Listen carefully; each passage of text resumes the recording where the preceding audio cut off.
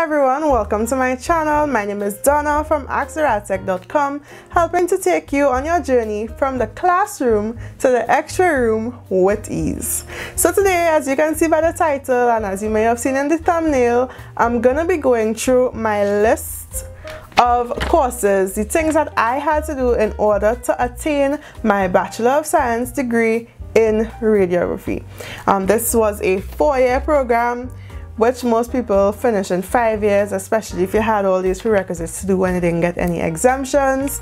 Um, you know, sometimes too, life throws things at you, some issues with family or whatever, you may not be able to do a course at a certain time, you might take a semester off, a course mightn't be available, or something like that. But all that aside, I'm just gonna get into the topics that I had to cover, the courses I had to cover um, and just a general idea of what it entails. I don't want this video to be too too long so let's get into it right away. The first course and I'm running through these quickly because I went into detail on them in my last video where I discussed the prerequisites and what to expect for your clinical observation internship or practicum, whatever you call it, where you're at. And the courses are Introduction to Physical Principles, Introduction to Anatomy and Physiology with Medical Terminology, Fundamentals of Writing, College Algebra, Mathematical Methods, Communication in the Workplace, Fundamentals of Radiological Science, Introduction to the Study of Society, and the fundamental of research skills. If you want to know what those courses entail before you get into your observation practicum, do check out my previous video because I gave you an idea what each thing was about and also a rundown on what to expect or what is the point of your clinical observation, internship or practicum. So we're passing those subjects straight now, right? So those are basically year one or like two semesters worth of courses. It's a full-time program, so there are about five or six, actually, yeah, about five courses per semester. In year two, I would have done psychology for the health professional and psychology, psychology, you know, healthcare and the relationship between those two and dealing with patients, stuff like that, dealing with loss, grief, Maslow hierarchy of needs and all of that, right? In addition to that, I also covered science and instrumentation. I actually want to do a video of the books that I use for my radiography program I might squeeze that in right after this one because I think it's cool to share, you know. But yeah, science and instrumentation has to do with the science behind radiography, learning how the equipment works, learning how uh, x-rays are formed, learning about SID and the way it affects your images, you know, source to image distance, learning about things of a more technical nature when it comes to the, the physics in a way behind the instruments that we use, the X-ray tube and stuff like that, right? How a cassette works, what a cassette is made up of, what an image receptor, if, depending on what you want to call it, is made up of, right? Anyway, moving along, Anatomy and Physiology 1, and Anatomy and Physiology was broken up into a lot of parts. So, you know, the body is a very extensive, complicated, complex thing. So, you know, in different things, we look at different systems and stuff like that, you know. We also looked at the x-rays and cross-sectional images that has to tie back in with the anatomy and physiology that we were learning at the time. Anatomy and Physiology 1 started our radiological anatomy and physiology, you know, so we kind of went into detail more so concerning where radiography is concerned.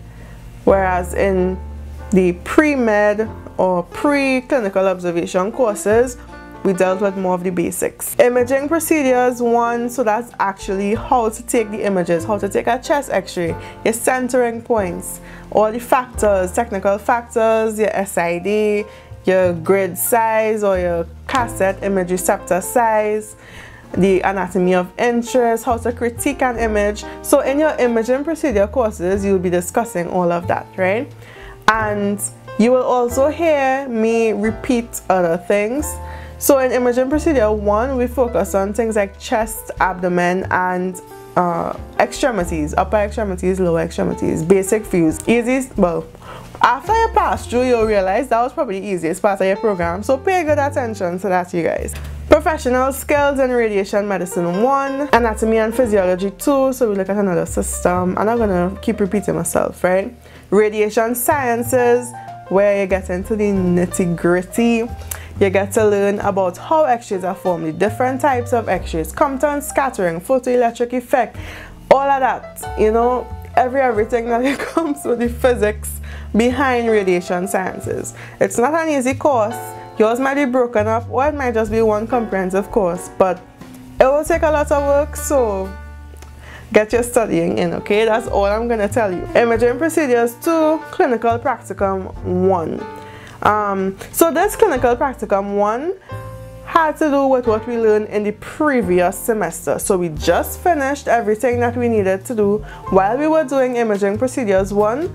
We were finishing up our observation clinical. So now that we have covered all the theory for imaging procedures one we would have done the practicum in the next semester and that's how we did it right?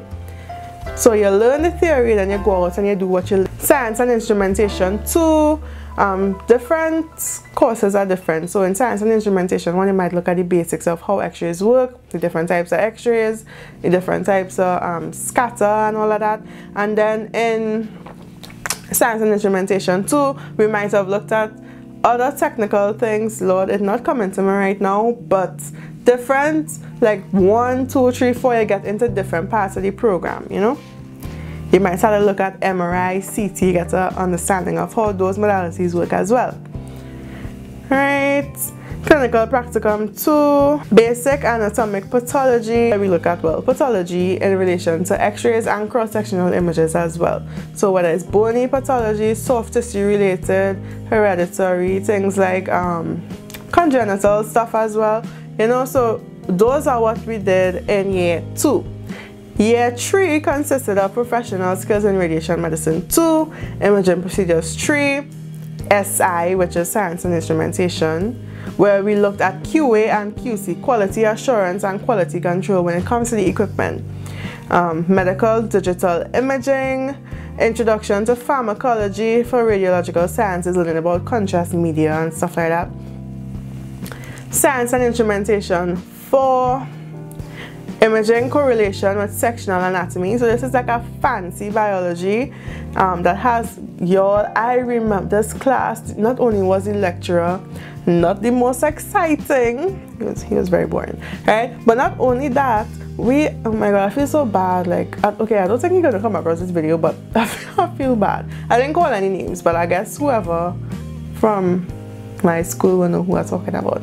Anyway, so imaging correlation with sectional anatomy was so stressful and when you don't have an, a fun you know upbeat lecture it will be a drag. So let's hope we get some great lectures, okay?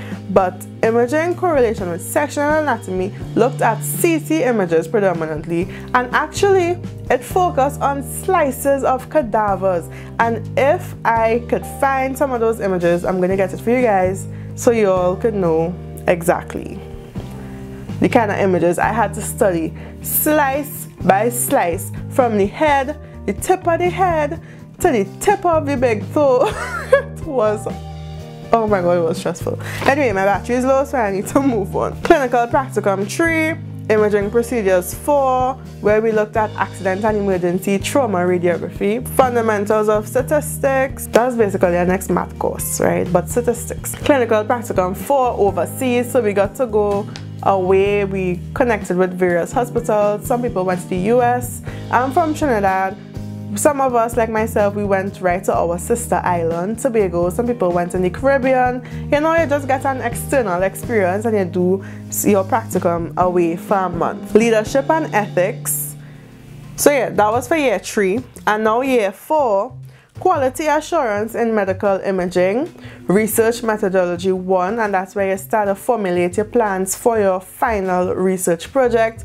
And I have a video on that so if you want to learn what you need to know before you start your radio radiology research project because you don't want to get in stress and be confused and not know what to turn next, you're kind of stuck. If you want to avoid that, and trust me, it's very easy to get there, check out my video on that and I'll give you some helpful tips on things to avoid and things to look out for for your research project. Clinical Practicum 5 portfolio and external review, computer tomography, so CT, we got a better understanding of that, environmental issues and sustainability, that was a basic one credit course, you know, that wasn't anything crazy.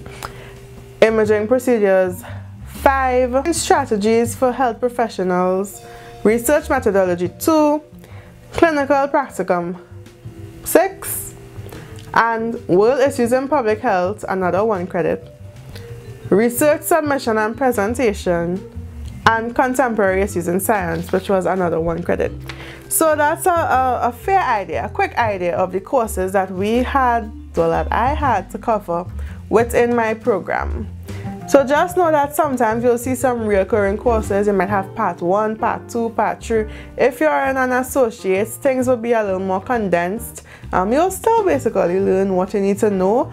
But I found that yes, you could be a radiographer in places like the US, maybe Europe, doing an associate's degree, a shorter program, a year and a half or two years and you're finished.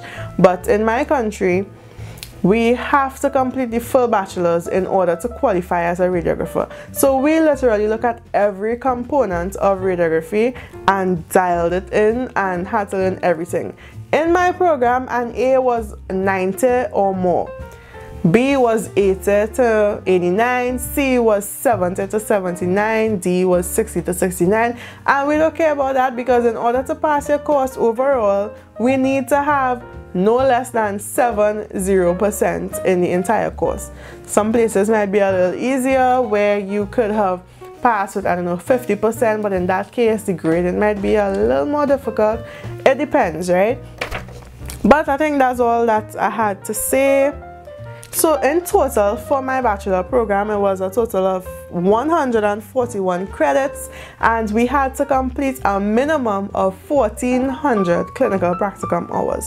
So each practicum had quite a lot of hours. I think the smallest practicum had about 180 hours attached. So you know, it was a lot. It was a lot. But anyway, yeah, time is going. So thank you so much for watching this video. I appreciate all of you. Don't forget to subscribe, give this video a thumbs up and share it with a friend, share it with a classmate. Like as I say, we're helping ourselves, but we could help other people too, right? As well as it would be nice to get the word out there and let's form our own little community because there aren't many of us here on YouTube, okay? So thank you so much for watching and I will see you all in the next video. Bye!